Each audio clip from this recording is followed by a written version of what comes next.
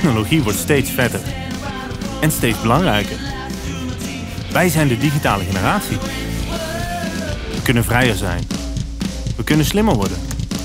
We kunnen creatiever zijn. We zijn één met onze vrienden. Wij leven de technodroom. Toch? Mensen weten niet dat het gebeurt. Hoe kunnen ze dan boos worden? Dit ben ik. En ook ik ben dol op techniek. Ik heb een smartphone, MacBook, Twitter, lidmaatschappen van de sportschool met RFID-chip, navigatie in de auto en ben altijd online. Maar er begon iets op te vallen. Je kent ze wel, de berichtjes. Gemeente plaatst extra camera's. Facebook ruziet om privacy. Nederland voert digitale grensbewaking in. Ik raakte geïntrigeerd. Wat is er nu bekend over jou en mij? De overheid mag weten wat ik doe, waar ik mee bezig ben met uh, heb niet veel te verbergen, dat scheelt. Ik maak me er eigenlijk niet zo druk. Op de vraag of privacy belangrijk voor je is, zeggen wij Nederlanders meer nee dan welke andere Europeanen dan ook. Hoe kan dit? Ik besloot te gaan onderzoeken hoe privacy er voor ons Nederlanders voor staat. Worden we veel in de gaten gehouden? En hoe dan? En hebben we nou echt niks te verbergen?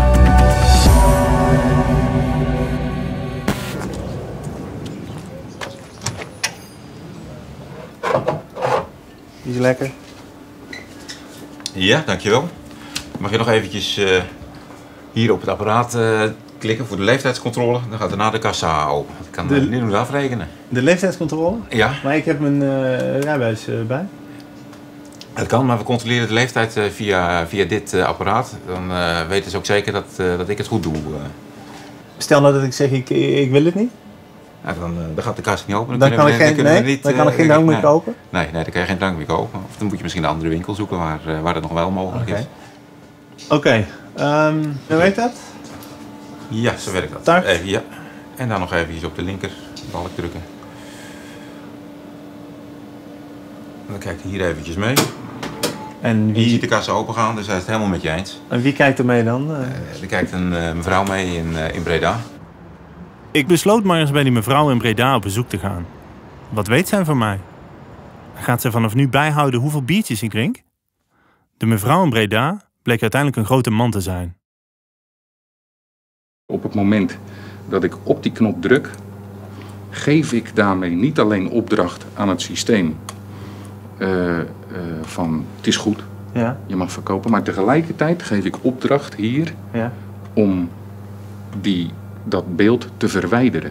Dus het kan niet gebruikt worden bijvoorbeeld voor eh, opsporing of zo, als iemand in een... Nee, eh, vorig jaar zijn we eh, benaderd door een- iemand van justitie. ja. Die zei van, kunnen jullie ons niet helpen met, als het nodig is, Ja. met het verschaffen van beelden? ja. Nou, ik was blij om te kunnen zeggen van, nee, dat kunnen we niet. En zou dat over twee jaar anders kunnen zijn? Je denkt, goh, we gaan toch eens kijken of we misschien... nee, uitgesloten. in de toekomst zal je nooit... Nee. Nee? En op het moment dat wij persoonsgegevens bijvoorbeeld zouden opslaan, ja. Ehm, ja, dan plaatsen we eigenlijk een bom onder dit bedrijf. Want daarmee eh, eh, verzamelen wij gegevens zonder dat er een gerechtvaardigd doel is. ja. Nou, dat mag niet. Ik weet niet of ik het prettig vind dat ik me moet laten scannen in de slijterij. Maar er worden geen gegevens opgeslagen. En het wordt verteld. Is dat overal zo? Dit is een face recognition camera. Hij scant mij nu. Via de nieuwste gezichtsherkenningstechnieken checkt hij per direct een database met ongewenste reizigers om eventueel alarm te slaan. Als passagier heb je niet door dat je gescand wordt. Er hangt dus niet eh, op de deur een eh, bordje Nee, nee. gezichtsherkenning. Oh, dus mensen worden gewoon even gefilmd en eh, gescand, Ja. maar ze hebben eigenlijk niet in de gaten dat het gebeurt. Nee, Nee. Zo is het. het valt de mensen gewoon niet op. Het, het is een puur auto, automaat. Mijn gezichtscan wordt bewaard in de database van de vervoerder en na een week vernietigd. Is het niet raar eigenlijk om iedereen die binnenkomt eh, eigenlijk een beetje stiekem te filmen? Eh, hoe moet je anders controleren? Nou, op de oude manier gewoon. Meneer, hoi, eh, laat even de ja. dingen zien. Onlangs was er oneenigheid in de Rotterdamse tram. Een journalist zag hoe de conducteur dit meldde aan de centrale. Het hele gesprek bleek opgenomen en als bewijs bewaard. Afluisteren en gezichtsherkenning. Welkom in de Rotterdamse tram. Maar maakt dit niet een te grote inbreuk op mijn privacy? De VN-wet uit 1966 op de privacy zegt... Niemand mag worden onderworpen aan willekeurige of onwettige inmenging in zijn privéleven, zijn gezinsleven, zijn huis en zijn briefwisseling. nog aan onwettige aantasting van zijn eer en goede naam. Een ieder heeft recht op bescherming door de wet tegen zodanige inmenging of aantasting.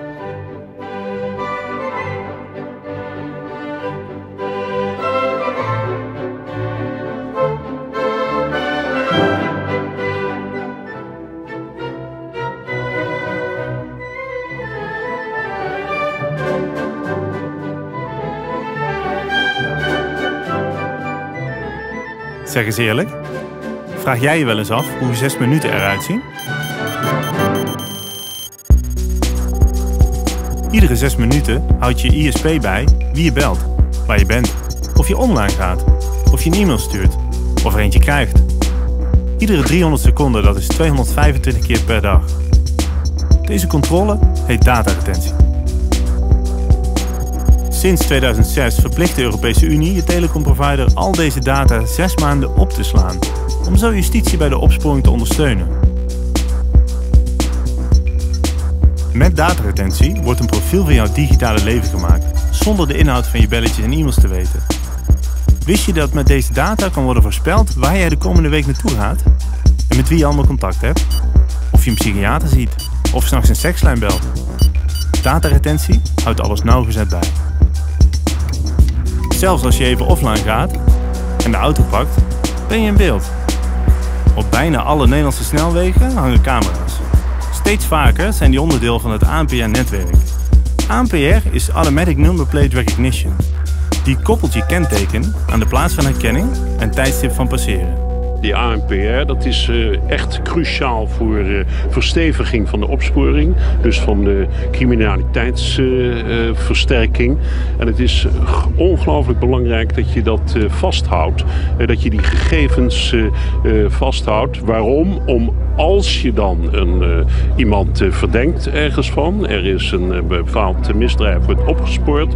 Dat je dan bijvoorbeeld even via dit systeem kan kijken of een bepaalde auto uh, op een bepaalde uh, plaats van het delict is geweest. En daardoor kan het uh, bewijs worden verstevigd.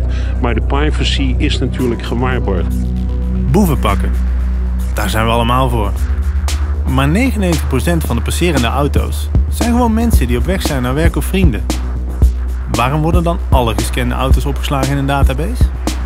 Daar geeft justitie geen antwoord op. Data, steeds meer. Alleen al in de laatste twee jaar maakten we meer data dan in alle voorgaande jaren bij elkaar. Lange tijd was het heel ingewikkeld en duur om data op te slaan. Je kon wel data verzamelen, maar het was gewoon te prijzig om het allemaal te bewaren. En aangezien harde schrijven en andere opslagmedia zo goedkoop zijn geworden, hoef je eigenlijk nooit meer iets weg te gooien. Het is niet zo heel lang geleden dat je je e-mail om de zoveel tijd moest, je mailbox moet leeggooien omdat die vol zat. En dat is een probleem wat we niet meer hebben. Dat komt omdat data goedkoper is geworden. En zoals jij je mailbox niet meer leeg maakt, zo zetten bedrijven hun harde schijven, maken ze ook niet meer leeg. Blijven ze opstekken. Waar ik een beetje bang voor ben, is dat bedrijven enorme hoeveelheden data over mij verzamelen. Bedrijven en overheden overigens dat op een gegeven moment de analyse tools zo goed worden dat ze ook echt iets met die data kunnen. En dan weet ik dat dat consequenties zou kunnen hebben. En ik weet nu nog niet wat die consequenties zijn. Maar ik vind het een heel eng idee dat er zoveel opgeslagen wordt en dat het allemaal maar aan elkaar geknoopt kan worden op een gegeven moment. Het klinkt ongelooflijk. Maar al 60 jaar geleden was er iemand die voorzag dat meer en meer techniek een schaduwkant zou gaan hebben. We mustn't be caught by surprise by our own advancing technology. This has happened again and again in history with technology has advanced and this changes social conditions.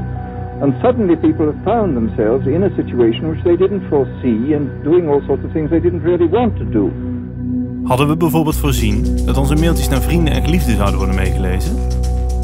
Meet TPI. Deep Packet Inspection is een inhoudelijke analyse tool van elektronisch dataverkeer voor gerichte reclame- of auteursrechthandhaving. In gewone taal het mogelijk meelezen van je e-mails. De meeste mensen zeggen dat als je vraagt wat zij ervan vinden als een e-mailprovider jouw e-mail inhoudelijk zou lezen en daar advertenties naast zou aanbieden, wat zou je daarvan vinden? Dan zegt de helft van de mensen, ik denk niet dat het gebeurt. En een iets kleiner deel zegt, ik denk niet dat het ooit gaat gebeuren. Ja. Het is iets voor paranoïde mensen om te denken dat bedrijven mijn e-mail gaan lezen. Gescand in de tram, gevolgd in de auto, de straten vol camera's, een foto bij de grens.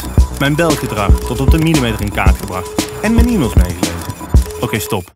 Is het just me? Of is het een tikje veel aan het worden? Wat was de definitie van privacy ook alweer? Niemand mag worden onderworpen aan willekeurige of onwettige inmenging in zijn privéleven, toch? Als er camera's langs de weg staan, van die sp- speedcamera's, van snelheidscamera's, dan veranderen mensen hun gedrag. Of er nou een rolletje in die camera zit, ja of nee. Het is het, is het, het idee dat je in de gaten gehouden kan worden. Dat bedoel, de koepelgevangenis is daarop gebaseerd. Dus in het midden een wachttoren, maar met geblindeerde ramen. En gevangenen weten dat ze constant in de, gevang, in de gaten gehouden kunnen worden. Het hoeft niet zo te zijn, maar daardoor gedragen ze zich. Ze gedragen zich anders. En in een gevangenis begrijp ik dat. Maar het panopticum, zoals dat concept heet, begint steeds toepasbaarder te worden op de hele maatschappij.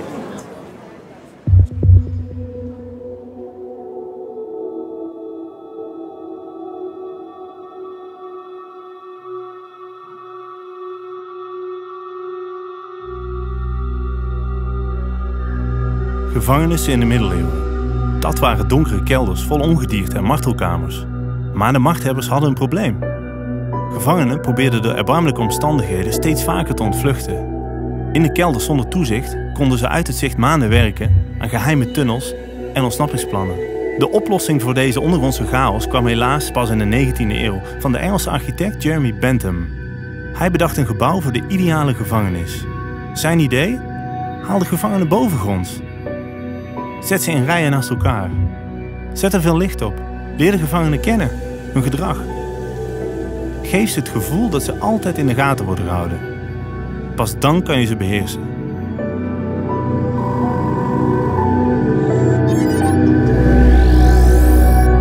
Vingerdruk met je paspoort, ik vind dat eigenlijk wel prima.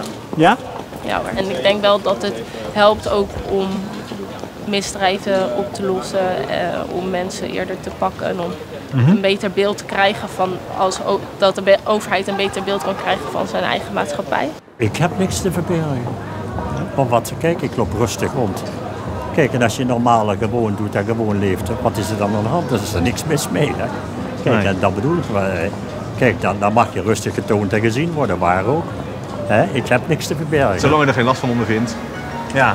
Ja, ik denk dat op het moment dat je er last van ondervindt, dat, er dan, dat je er dan over gaat nadenken.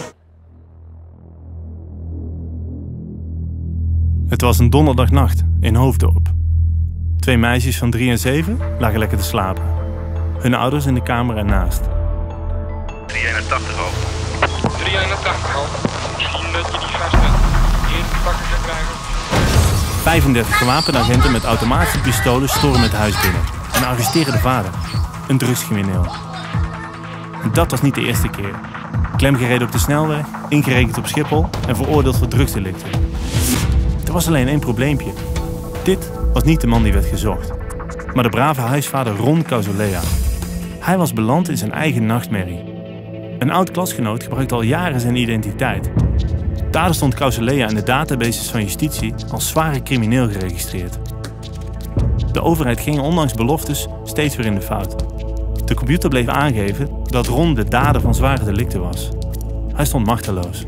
Zelfs de minister van Justitie zei: Meneer, u bent deze crimineel. Protesten zijn zinloos. Pas jaren later werd de fout hersteld.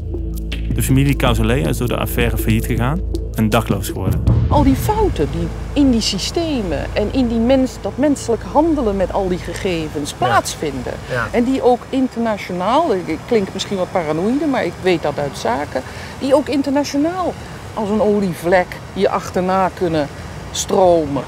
Want dat is dus het vreemde. Juist door dat vers- doen verspreiden van al die persoonlijke gegevens, dat is nu de grote upcoming kracht in Ja. de criminaliteit. Dat Ja. is de identiteitsfraude. Data en de opslag daarvan kan dus riskant zijn. Systemen zijn feilbaar en kunnen gehackt worden. Zoals bij DigiNotar. Er is een Nederlands bedrijf die beveiligingscertificaten leverde, onder andere aan overheidswebsites. Daarin met Ideal werd beveiligd, de Belastingdienst bijvoorbeeld. En de partij die die certificaten leverde, die bleek gehackt te zijn, al een tijdje. Dat bleken ze zelf ook te weten. en niet verteld te hebben. Dat ging mis en dat had grote internationale consequenties. Opeens was Windows Update niet meer veilig. Het grootste besturingssysteem uh, had in principe een enorm lek. Uh, omdat er een Nederlands bedrijf was die had lopen falen. Ja, dat zorgde voor veel kritiek. Ik was laatst op een hackersbeurs, een internationale hackersbeurs. Als je zegt dat je uit Nederland komt, dan is dit het eerste wat bij hackers opkomt. DigiNotar? Ja, DigiNotar. DigiNotar heeft ons geleerd dat zeer persoonlijke informatie op straat kan komen te liggen. Maar het geloof in techniek is groot en dringt zelfs door tot de meest vertrouwelijke omgevingen van onze maatschappij. Ik ga op bezoek bij de psychiater Ronald van den Berg. Hij is uit protest gestopt met zijn drukke praktijk. Waarom? De praktijk is al twee jaar geleden gesloten in verband met de DBC's, de diagnose-behandelcombinaties. Als je in Nederland naar de psychiater gaat, is deze verplicht om jouw diagnose naar een database te sturen. Anonimiteit bij de psychiater is hiermee verleden tijd. Er wordt geregistreerd wat je hebt, waar je woont, waar je, wat je geboortedatum is, wat je voor behandeling krijgt, wat je voor medicijnen krijgt. Een psychiater met een bloeiende praktijk die stopt uit protest tegen privacy-schending. Ik vind dat heftig. En besluit bij de bedenker van DBC langs te gaan. Ja, graag. Wat je doorgeeft aan informatie over die patiënt is minimaal. Het heet ook een minimale dataset. Omdat de vereiste is, als je het over patiënten communiceert, dat zo min mogelijk. Maar is het, is het minimaal als er bijvoorbeeld staat uh, licht schizofreen en uh, Ja. depressief? Is dat minimaal? Ja, dat is minimaal. En stel dat u in therapie zou gaan en eh, Ja. zou u het vervelend vinden als uw diagnose vastgelegd eh, wordt? Nee, niet. Nou, nee, denk ik niet. Nee? Waarom? Dat is ook maar een opvatting. Dan stel dat er nou in staat, nou, die man is depressief. Want Ja. meer staat er niet in. Nee. Ja, kan, kan toch voorkomen? Dat is toch een normaal iets in deze samenleving. Vanaf Plato komt het al voor. hoor. Maar stel dat er in zou staan, de, die man die heeft eh, soms eh, seksuele fantasieën die de maatschappij staat niet er niet altijd... eh, nee? Dat kan er nooit in komen te staan. Dat kan er niet in komen te staan. Nee, kan wel in staan. Stel dat ik een afwijking. Stel dat ik pedofiel ben. Ja. Dat staat er wel in, ja. En daar heb, je, dan, heb je een probleem. Dan heb je toch een probleem? Ja, dan heb je een probleem. Ja. en het probleem is niet zozeer, zowel bij de patiënt als bij mij. Ja. Hè, als ik dat zou zijn en ik Ja. zou dat uitleven. Mensen zouden natuurlijk heel graag willen weten hè, wie dan allemaal pedofiel zijn. De data van mijn psychische klachten worden opgeslagen bij de overheid en de zorgverzekeraar. Maar is mijn depressie daar eigenlijk wel veilig? Die informatie wordt dubbel encrypted. Dat wil zeggen, dat is twee keer versleuteld. Mhm. Dat is dus veiliger dan je pinpas. Het dubbel encrypted zegt nog niet zoveel. Van, het gaat erom wie de sleutels heeft.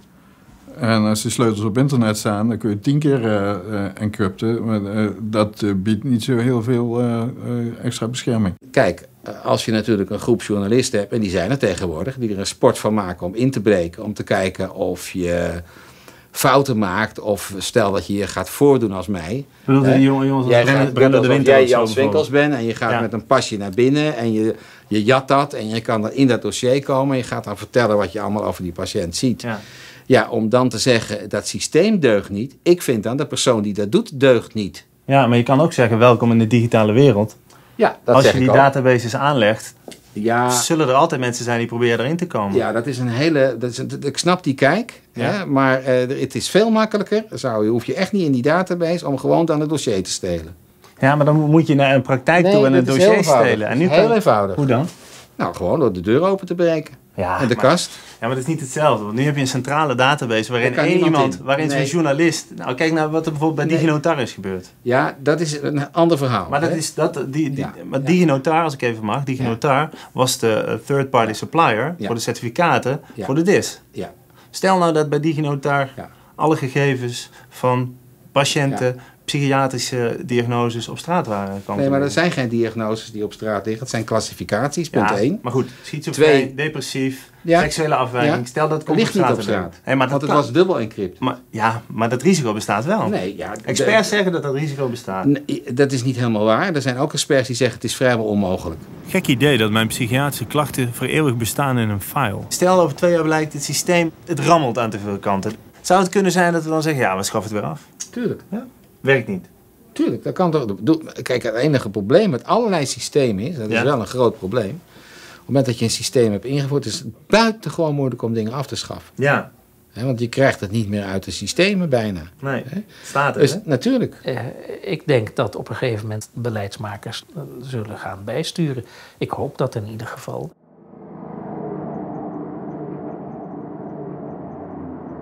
Kan dat? Kunnen we bijsturen? Het lijkt er niet op. Systemen blijven en gaan niet meer weg. We zullen moeten wennen aan een wereld waarin overheden en bedrijven exacte profielen over jou en mij hebben.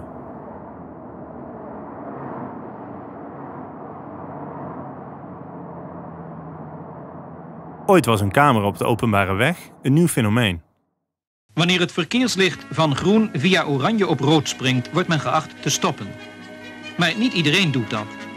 En men kan niet bij ieder verkeerslicht een politieagent zetten met bonnen. Tenminste, geen levende. Maar wel een automatische. In Delft heeft men hiertoe zuiltjes gezet bij verkeerslichten. En in die zuiltjes heeft men camera's geplaatst waarvan de lens gericht is op het kruispunt. Je bent er volautomatisch bij. De Delftse politie zoekt van alle genomen foto's de trotse autobezitters op.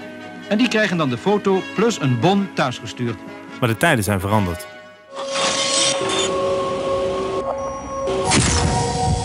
Meer camera's, meer toezicht, meer veiligheid. Amsterdam maakt een vuist. Misschien een gekke vraag. Maar hoeveel veiligheid leveren die camera's ons eigenlijk op? Het vervelende met camerabewaking is dat we weten niet hoe effectief het is. En Nee. elke keer als er een studie komt, dan blijkt het toch heel teleurstellend te zijn. Toch hangen we er steeds meer op, dus we Ja. weten niet of we veiliger zijn. We weten wel welke risico's eraan zitten en die mogen nauwelijks benoemd worden. Het vervelende is dus dat je dus nu ook geen effectiviteitsdiscussie kunt starten. We hebben politieregio's in Nederland, Ja. Rotterdam bijvoorbeeld, Ja. eh, die van alles met eh, technologie doen. Want dat zou dus de criminaliteit zo helpen. Ja. Rotterdam is met kop en schouders de onveiligste stad van Nederland. En wat gaan we doen? We gooien er nog meer te- technologie tegenaan. En daar heb je dat weer, dat, dat techno-optimisme. Ja. Of het nou werkt of niet, dat maakt niet uit. We weten dus niet zeker of camera's wel werken. Maar toch hangen we ons hele land vol. We willen ons natuurlijk wel veilig voelen. Het gevoel van onveiligheid is een gevoel dat ook kan worden gecreëerd. Ja. Als je voortdurend maar voorhoudt, het is hier zo onveilig en wees nou angstig en ik kan u beschermen, maar dan moet u wel uw volledige vrijheid inleveren. Ja. Dat is kennelijk meer de achterliggende gedachte. Sinds 2000 daalt de criminaliteit in Nederland. Geweldsmisdrijven, moord, woninginbraken.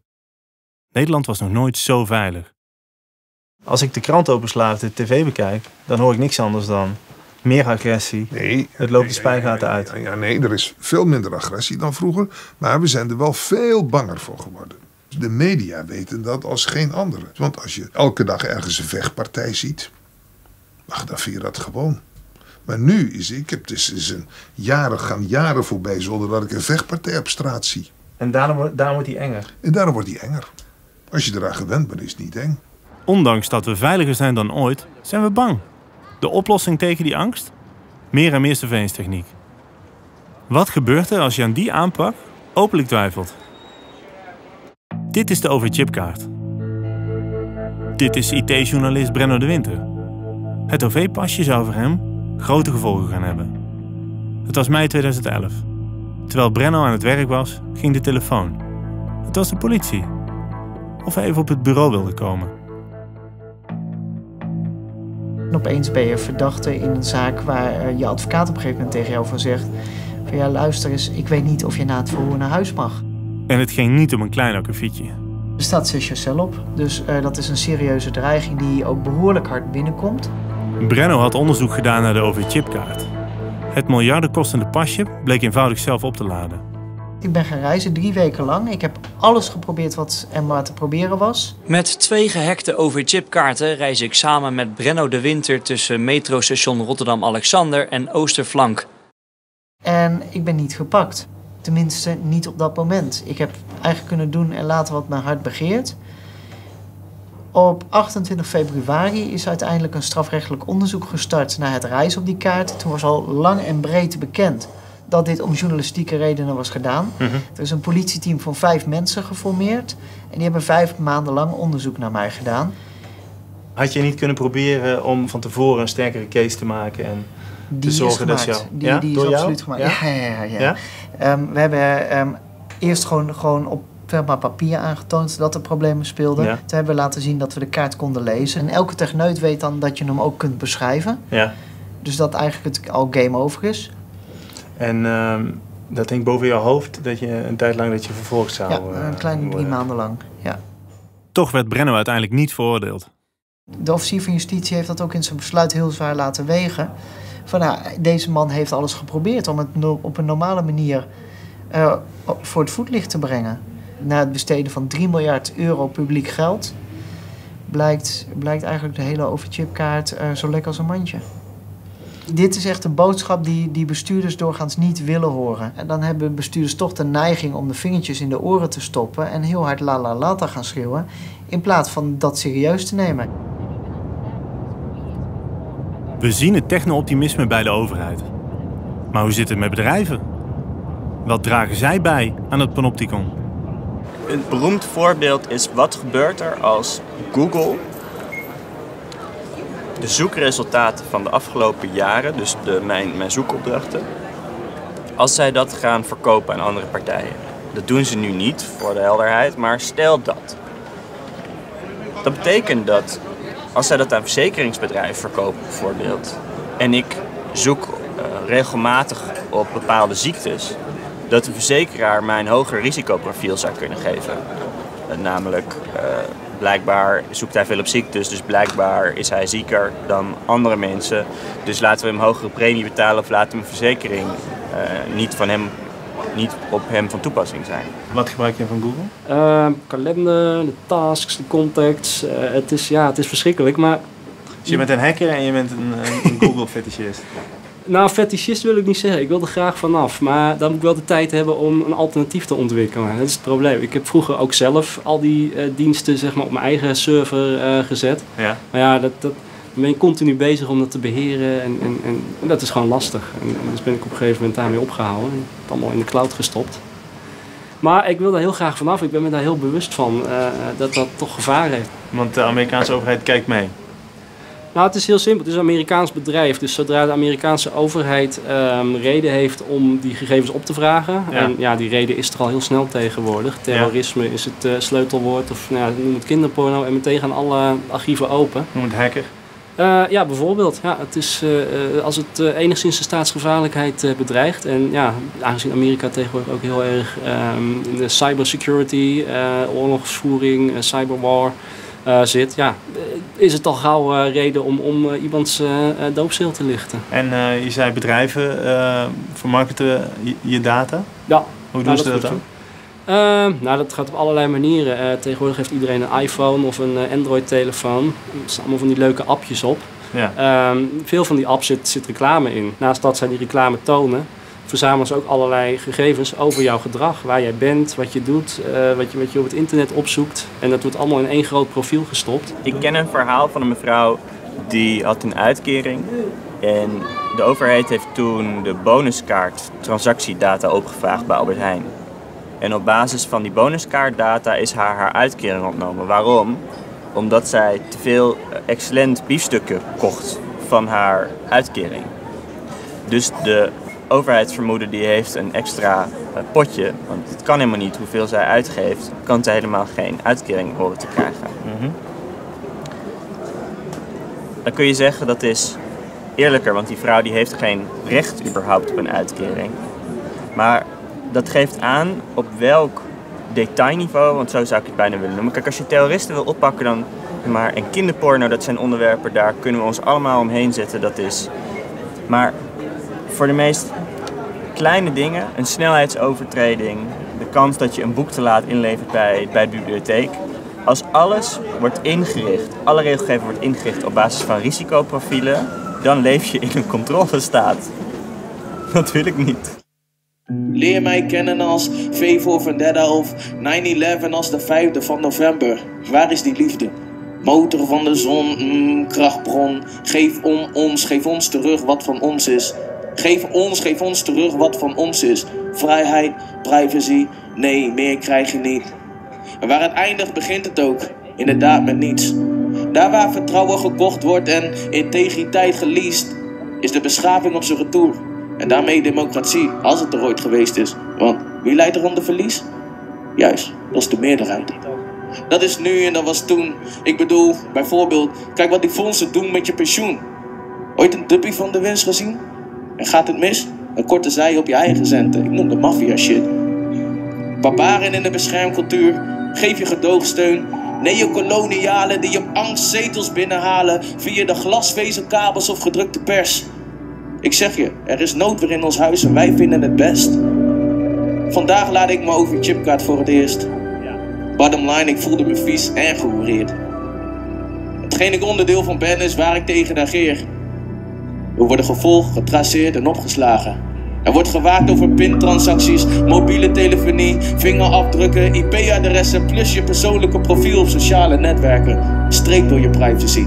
Eis het terug en ontstijg het alsjeblieft.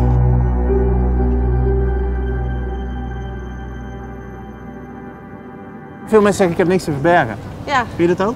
Ik heb ook niks te verbergen. ik vind dat ook Nee? zo. Nee, anders zou ik hier niet voor de camera staan. Dat Nee. Zo, geven. als zou ik zeggen, ja luister. Heb je gordijnen thuis voor de raam?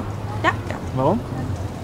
Ja, maar dat is heel Ja, wat anders. dat is wat heel wat anders, dan? gordijnen. Wat dan Ik, anders? ik zou het niet leuk vinden als mensen zouden Het is toch niet, het is toch onbeschoft als andere mensen in je, dat je naar je toe gaan kijken wat je aan het doen bent. Maar je hebt toch niks te verbergen? Nee, klopt, maar aan de andere kant is het Thuis ook is het anders. Thuis is het wat Ik, anders. vind, ik, voel, ik voel me prettiger waarom ik gordijnen zou hangen. Ja. Niet, überhaupt niet eens om de mensen die buiten staan en die naar binnen kunnen kijken, maar omdat ik het gewoon prettig vind. Het is gewoon, ja. Je wil gewoon een eigen- iets voor jezelf. Sfeer gewoon, ja. eigen plek. Ja, gewoon je eigen plek. is dat meer, ja. Privacy. Ja. Bijvoorbeeld.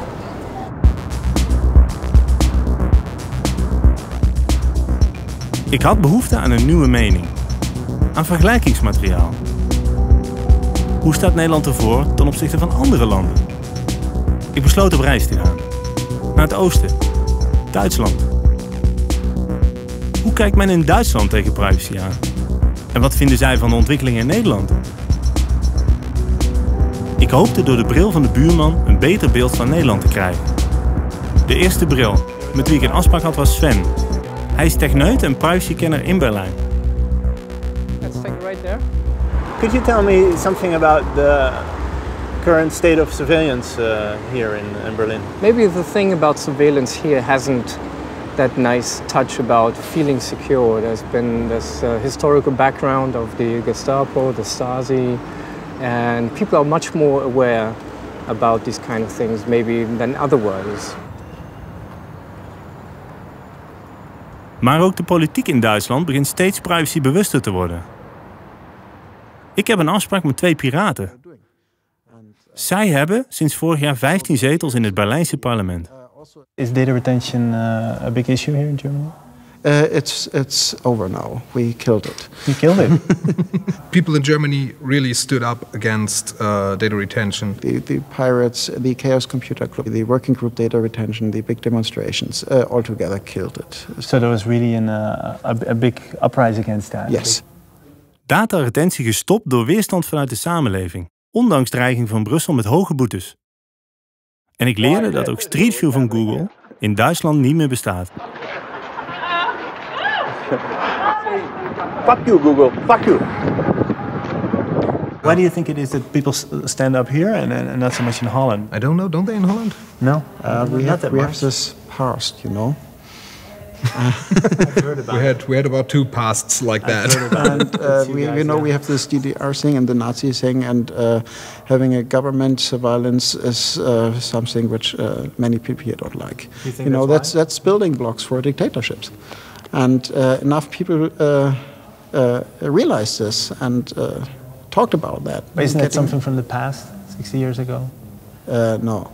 Past uh, history uh, will repeat if we don't do anything I against hope it. we learn from that part of So, our history. The resistance, they, they burned the um, uh, one one big government building where all the um, Akten paper Yeah. stuff is. Um, so the Nazis could not find out who are the Jews. Right. because it's information which were deadly for many people in this time. And, uh, so the collection of so many data is. Uh, which is not needed actually, uh, makes uh, many people suspicious. And then they start asking questions and then they don't get good answers. Een belangrijke stem in het Duitse privacy- en technologiedebat is die van de Chaos Computer Club. Zij zijn een idealistische groep hackers die streven naar meer overheidstransparantie en kijken naar de invloed van technologie op ons als mensen en samenleving. We explain stuff which has uh, to do with like technology and society, or which effect uh, technology has on, on, on society. And um, that's the main reason why we are not like, yeah, the criminals or whatever, but No? like, no. The government or, or policymakers don't see you as, as criminals No. here. Ik vroeg Fukami om een voorbeeld van het werk van de Chaos Computer Club. The last thing, which is really a big scandal now in Germany, is about um, the analysis of um, a thing um, in German called Staatstrojaner. Der Chaos Computer Club hat Festplatten zugespielt bekommen, auf denen sich ein kleines Programm befindet. Und nachdem sich die Hacker das einmal genauer angeschaut haben, gehen sie davon aus, dass sie eine staatliche Schadsoftware vor sich haben, einen Staatstrojaner. Was macht er überhaupt? Er überwacht offenbar Webbrowser, Online-Telefonieprogramme wie Skype, Mail- und Chatprogramme und macht Screenshots, wenn sich so ein Programm im Vordergrund befindet. Außerdem geht der CCC davon aus, dass er sich an verschlüsselten Telefoniediensten wie Skype zu schaffen macht.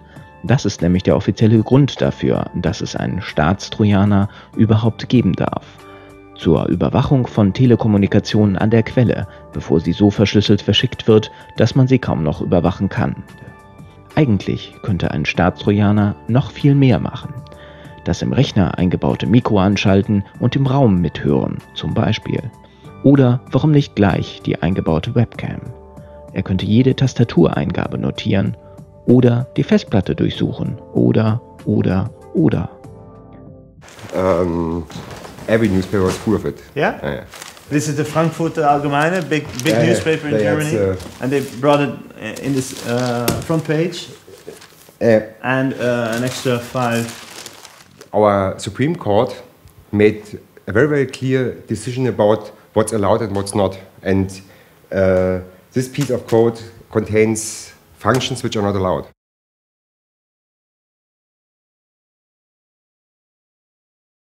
Ik sprak met een jongen op straat over deze Bundestrojaner. Ich meine mal, wer kann einen denn sagen, dass das Ding irgendwie nicht einfach so losgeschickt wird, ohne dass man irgendwelche Hintergründe dabei hat? Dass das Ding nicht einfach missbraucht wird von dem Staat, um Daten rauszukriegen über die Bevölkerung. Das ist eigentlich eine Sache, die ich relativ dreist und frech finde. Das sind ja auch Daten, die dann in die persönliche Sache reingehen. Zum Beispiel, welche Parteien man wählt, welche Gedanken man hat, was einen beschäftigt. Ja, das müssen halt diese Leute nicht wissen. Nein?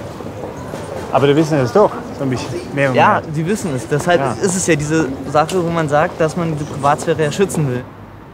Een privacypartij in het parlement. Invloedrijke hackersclubs die in contact staan met de overheid. Hoofdredacteuren die zes pagina's wijden aan privacy-issues. En een fel debat in de gemeenschap. Ik heb veel geleerd in Duitsland. Bewustzijn over wat data is en kan zijn, is hier groot. Zijn ze wellicht overgevoelig? Of geven ze ons een terechte waarschuwing?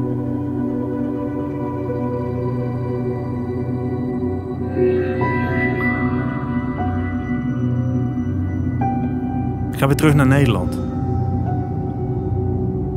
Het land van die recalcitrante Nederlanders. Het land waar alles kan en mag. Seks, drugs, rock'n'roll. Vrijgemaakt van dogma's en bemoeizuchtige instituties.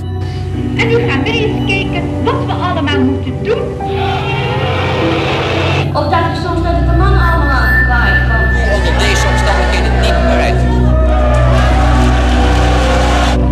Ja. Goed, eh, ik mag niet klagen. Ik heb een paar dingetjes van gewerkt. Ja, dat is wel het mooie aan ons Nederlanders. We zijn dwars. Pikken gewoon niet alles. Zo zijn we toch? Uiteindelijk zijn wij Nederlanders, ondanks dat we onszelf eh, graag als anarchistisch en, eh, en eh, eh, anti-autoritair zien, uiteindelijk toch wel heel, een heel braaf, gezagsgetrouw volkje. Is dit echt zo? Zijn we gezagsgetrouw en braaf? Ik zocht eens op of de spionagesoftware ook in Nederland gebruikt wordt. En jawel hoor, de Nederlandse overheid gebruikt hem ook. We gebruiken het in Nederland ook. En daar wordt niet over gesproken. En daar hebben we geen publiek debat over gehad. Maar in Duitsland is er wel ophef over. Het lijkt wel iets cultureels te zijn dat wij het eigenlijk wel lekker vinden om gecontroleerd te worden eh, door de overheid. En heel veel mensen vinden dat eigenlijk prima. Dat heeft iets, iets, iets exhibitionistisch eigenlijk. Ja, dat, dat heeft het ook misschien wel van kijk, ik ben een goede burger en eh, aan mij, met mij is niets mis. Ja? Ehm, ja, Maar waarom denk je dat?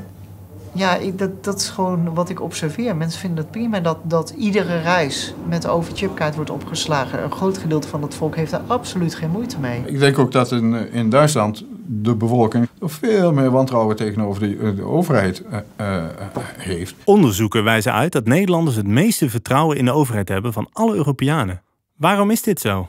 Met groot vertrouwen als, als de overheid zegt... gaat u maar slapen, wij doen dat. eh, hè, het is een goede handel, levert u al uw gegevens maar bij ons in. Ja. Dat komt wel goed.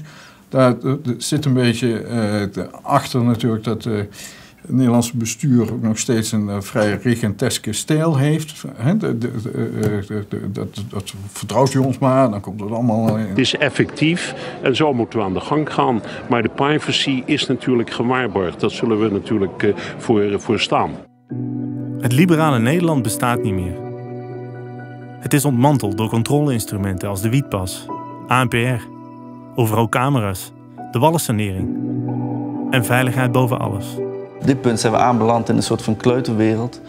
Waarin mensen in Den Haag en die torens in Den Haag nog steeds denken en dat ze eh, in staat zijn om middels allerlei vormen van wetgeving en allerlei zaken het land op een paar manieren te besturen, terwijl het al lang niet zo meer is. Het feit dat bijvoorbeeld dat je mag roken of niet roken, heeft niets te maken met roken. Heeft te maken met het feit dat ik jou nou hier in jouw gezicht sta. En dat ik daar jou disciplineer en jou bezighoud met dat soort, eh, laat bezighouden met dit soort individuele beslissingen. Dus het is, dit gaat niet over gezondheid, het gaat, gaat over over grip op, op, op Tuurlijk. Ja? Tuurlijk. Jij denkt dat het niks te maken heeft met Tuurlijk. welzijn en zorg voor, mensen. Maar het is eigenlijk een hele koude, koude eh, cynische blik op wat overheden zijn. Ik weet het niet. We hebben, we hebben, we hebben miljarden geïnvesteerd in, in uh, antiterreurmaatregelen. Er zijn ongeveer 504, zeg maar 400 tot 500 mensen in Europa opgeblazen. En er zijn tegelijkertijd eh, in 10 jaar tijd in de Europese Unie 580.000 zelfmoorden. Dat is ongeveer een stad als Den Haag, die in 10 jaar tijd ertussen uitknijpt. Ja. En eh 420.000 doden in het verkeer. En dan praat ik niet eens over de gewonden. Dus als je dit afzegt, dan vraag ik me af wie, wie, er nou, wie is er nou cynisch? Ik bedoel, een beleid wat miljarden investeert in een paar mensen die, die, die eigenlijk van de trap vallen. Want er zijn net zoveel mensen die van de trap vallen dan mensen die opgeblazen worden. Zeg maar daar komt dan een beetje op neer. Wat natuurlijk nog steeds heel erg is. Of ehm, een beleid wat ziet dat er, dat er, in, dat er 580.000 mensen in 10 jaar tijd in heel de Europese Unie zeg maar, zelfmoord plegen. En die dan niet probeert te wil investeren in, in mensen of hoe mensen zich voelen. Dus die, dat cynisme zit, staat niet aan mijn kant. En een beleid wat probeert het internet te censureren. Hoe cynisch is dat? Een van de gebieden waarop privacy nadrukkelijk te- in gevaar is, is behalve dan hè, dat, de spanning met veiligheid, is de spanning met eh, auteursrecht. Zeg eens eerlijk. Wanneer heb jij voor het laatst een film gedownload? Hoog op de agenda van de Europese Unie staat om jouw illegaal downloaden aan te pakken. Dit in de vorm van het ACTA-verdrag. Wat dit voor jou betekent? Dat jouw surfgedrag nauwgezet wordt gecontroleerd. Om dat in de gaten te houden, moeten van mensen op individueel niveau eh, bijgehouden worden wat ze precies downloaden. Nou, dat is een grote schending van privacy. Als ik eh, Pirates of the Caribbean download, wat Ja, gebeurt er dan? Dan wordt je deur op ingetrapt. Oh ja? Nou ja, ik overdrijf natuurlijk eh, nu bewust. Maar dan eh, krijg, eh, heeft dat repercussies. In Frankrijk is er inmiddels van die wetgeving van kracht... als je dat drie keer doet, word je afgesloten van internet. Er is geen proces, er, is, eh, er wordt niet gekeken of de, de verdenking klopt. Ehm, je wordt er gewoon afgegooid. En daar dringt in Nederland bijvoorbeeld Stichting Brein ook gewoon op aan... om gewoon individueel surfgedrag in de gaten te gaan houden. Dit is verder dan de overheid wil gaan... met betrekking tot het handhaven van veiligheid... eh, of, zo- of, of, of controleren van, van hun burgers. En die druk is enorm groot hierop.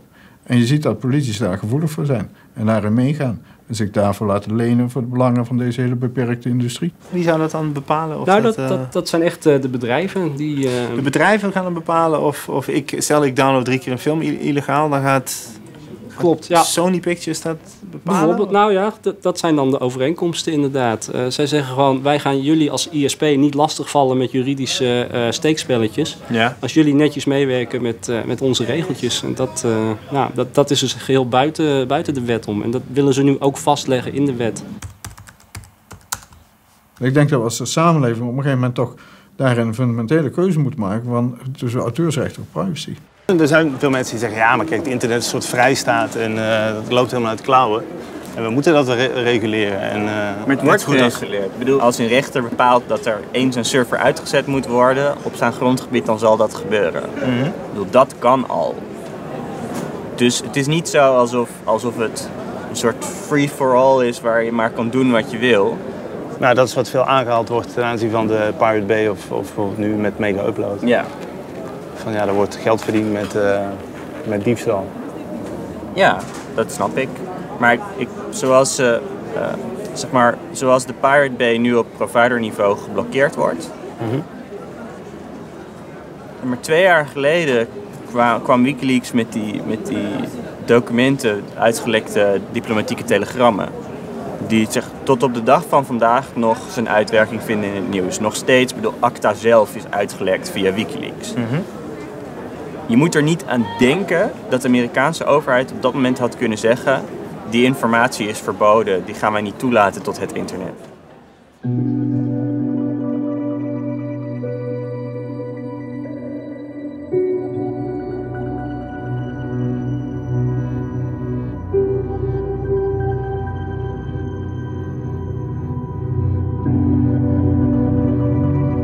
Europa staat in brand. Landen zonder geld. Pensioenen onder druk. Massawerkloosheid. De kiezer op drift. The capitalistic system is collapsing. There's, there's no way to keep the system running. It ran uh, for the last 20, 30 years. People are being told, "Don't worry, we're gonna fix it. It's just difficult right now, but we're gonna make a plan." And yes, next of week, course, the because people, they- huh? well, uh, they are trying to, uh, to, to, to, to make people not uh, going onto the streets and burn cars and houses. One thing, uh, you need Brad, and games to keep people under control. If one is missing, uh, well, they are uncontrolled. Yeah. They are going uncontrolled, and that's what's gonna happen. Yeah, you think so? Yeah. It's gonna be messy. Uh, I hope not too messy.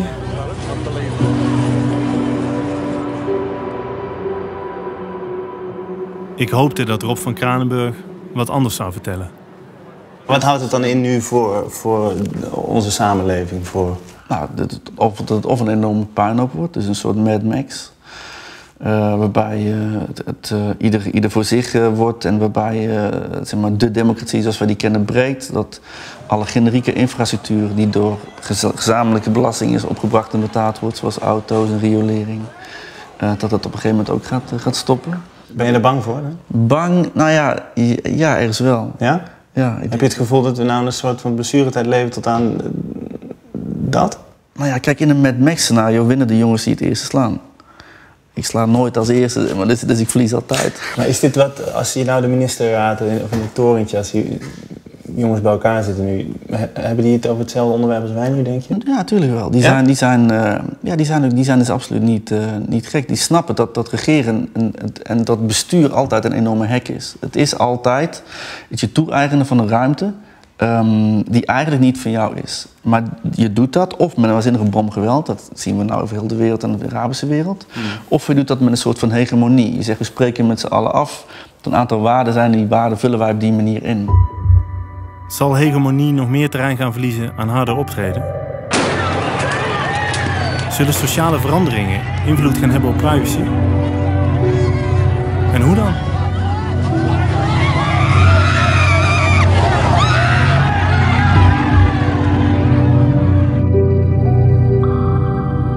Neem Londen 2011. Zware rellen teisteren de straten. Nieuwe opsporingsmethodes worden ingezet. Verdachten getagd via Facebook door vrienden. Grote schermen met mogelijke daders sieren gebouwen. Men moet toch zich beseffen dat een verdachte ten eerste verondersteld wordt onschuldig te zijn. Daar om allerlei redenen kan zijn geweest. Dat later misschien dat een onschuldig persoon is. Dat die beelden hun eigen leven gaan leiden. Dat dat publiek daarmee geconfronteerd wordt. Dit zijn zware methodes. Wie staat er over vijf jaar op die gebouwen? Misschien jij wel. Of ik? Ben jij al lid van Burgernet? Jij en ik worden steeds vaker gevraagd behulpzaam te zijn bij het boevenvangen. Via een sms'je wordt met Burgernet een actie opgestart. Leden kunnen de straat op en mee gaan zoeken naar de gezochte persoon. Op dit moment zijn 800.000 Nederlanders lid van Burgernet. Een andere manier waarop burgers elkaar in de gaten houden zijn kliklijnen. Ze komen in alle soorten en maten. Illegale software melden tegen financiële vergoeding, cafés waar het rookverbod wordt overtreden doorgeven en meldt misdaad anoniem. In Nederland kennen we meer dan 20 kliklijnen en we zijn niet schuw om ze te gebruiken. Maar criminaliteitsbestrijding krijgt er in de nabije toekomst een hulpje bij. Pre-crime. Er ontstaat steeds meer druk vanuit de overheid zelf, maar ook vanuit de samenleving om proactief op te treden. Dus, dus niet reactief als overheid, van er is iets gebeurd, er is ingebroken, daar moeten we achteraan en op, op reageren. Nee, proactief, misschien zelfs van tevoren gaan kijken welke mensen het meest geneigd zijn tot, uh, tot inbraken. Hè, die extra in de gaten houden of die misschien extra zorg uh, bieden om te zorgen dat ze niet geneigd zijn om dat te doen. Misdaad moet natuurlijk bestreden worden. Maar we komen steeds dichter bij een wereld waarin iedere beweging wordt gespot en als bewijs kan gaan dienen in een rechtszaal. Als, als die technieken, dus bijvoorbeeld de staat die ook gaat gebruiken om in eerste instantie terroristen op te sporen, maar daarna gewoon iedereen die een verhoogd risicoprofiel heeft om een misdaad te begaan, dan heb je echt Minority Report, waar mensen al gearresteerd kunnen worden voordat de misdaad gepleegd is. Ik vind dat heel eng. Ja? Ja. Ik bedacht me dat de pogingen om een maakbare maatschappij te maken eindeloos zijn. Hoe ver willen we gaan? Voor een totaal panopticon. Het internet was revolutionair. Maar nu dient zich de volgende stap al aan. Kijk eens naar je boekenkast, je pen, je t-shirt. Die gaan tot leven komen. Meet the Internet of Things. Dat betekent dat alle objecten voorzien gaan zijn van een digitale laag. Dat betekent dus of dat ze een RFID-tag krijgen of uh, dat, dat, er sensoren is. Of dat er Bijvoorbeeld een, dat shirt van jou of zo? Ja, er, zit een, er, zit, er kan een, een, een, een passieve RFID-tag in zitten Ja. die uitgelezen kan worden. In Duitsland werd ontdekt dat een modeconcern deze RFID-chips al gebruikte in haar kleding. Volgens zeggen om de distributie te verbeteren. Wil je ook een shirt met een volgbare chip? Ook in Nederland wordt inmiddels gebruik gemaakt van deze methode. Er kan ook een actieve sensor in zitten die ook mijn, eh, mijn, mijn bloed en mijn, ehm, mijn hartslagen en al dat soort dingen. Nee. Philips heeft die al. Kleine draagbare chips zullen jouw vitale lichaamsfuncties gaan monitoren en meteen een arts waarschuwen als je een probleem krijgt. Het wordt een wereld waarin, waarin in principe alles met alles praat. Nou, 10, 15 jaar geleden was er nog science fiction, maar nu is het echt, echt hardcore realiteit. Dus we worden, we worden klaargestoomd voor een soort samenleving waarin wij al deze dingen gaan, gaan, gaan, gaan ehm, eh, normaal eh, gaan vinden. Dat zien wij, dat zien, dat zien, dat zien de bedrijven, dat zien, dat zien die overheden. En hun hebben maar één, één reactie daartussen. En dat is alles vastzetten. En hun Ja. grijpen dat Internet of Things aan als een soort van controlemechanisme. En hun willen dat, dat, eh, dat bouwen. Dan komt het in, principe, in principe komt het daarop neer. Technologische ontwikkelingen zullen doorgaan. Dat is een feit. Maar het gebruik ervan? Hoe we het inzetten voor ons als mens en maatschappij? Neem Google Glasses. Alles wat je daarmee ziet wordt interactief en opgenomen. Je bril als camera. 24 uur per dag, alles opnemen. Moeten we dit willen?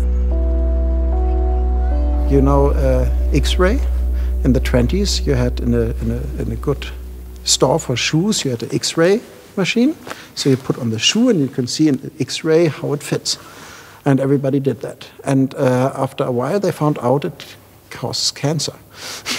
so they stopped it. And uh, now many people putting things online they shouldn't.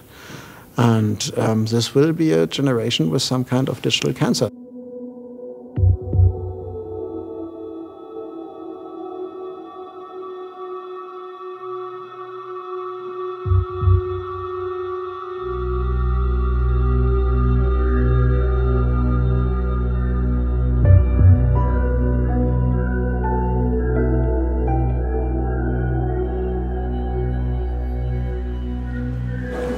Veiligheidsdiensten, als, die, als je tien jaar geleden tegen ze gezegd zou hebben, mensen gaan hun eigen dossiers maken van, van, van duizenden pagina's hoog over hun dagelijks leven. Met wie, ze, met wie ze ontmoeten, met wie ze bellen, waar ze zijn, met wie ze eten, waar ze wonen, waarom ze, waarom ze doen wat ze doen. Dat ze niet hadden geloofd. We zien dat privacy onder druk staat. Dit zijn cruciale tijden. Of vind je me nou paranoïde? Nou, misschien ben ik wel een beetje paranoïde. Maar het kan ook zijn dat jij dat iets meer moet worden. Is het echt nodig dat Facebook en Google meer van jou weten dan je eigen moeder? Kun je niet eens zoeken met privacyvriendelijke zoekmachines? Hoe zijn jouw Facebook-instellingen? Ik wil graag een keuze hebben. Daar gaat het mij om. Zo kun je door protesten van psychiaters sinds dit jaar kiezen of je in de DIS-database wil worden opgeslagen. Dat is vooruitgang. Het ligt mede aan jou. Bedrijven en overheden willen uiteindelijk aan je verdienen en je kunnen controleren, wat ze ook voor mooie praatjes hebben. Daar moet over gesproken worden, zodat we niet in een situatie komen die we niet zagen aankomen. Anders, ga je gang en laat het panopticum verder je leven binnen. Tot je op een dag het verschil niet meer kent tussen jouw leven en dat van hem. Of hem. Of hem.